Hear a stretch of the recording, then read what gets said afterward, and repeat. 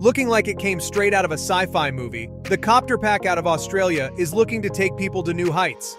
The CopterPack is an electric backpack helicopter, a single-person flying device with dual 3-foot-wide rotors to power its pilot upwards.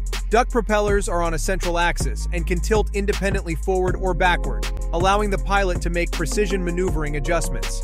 Two armrests extend out from the lower section of the unit with dual joystick controls, one for each of the pilot's hands.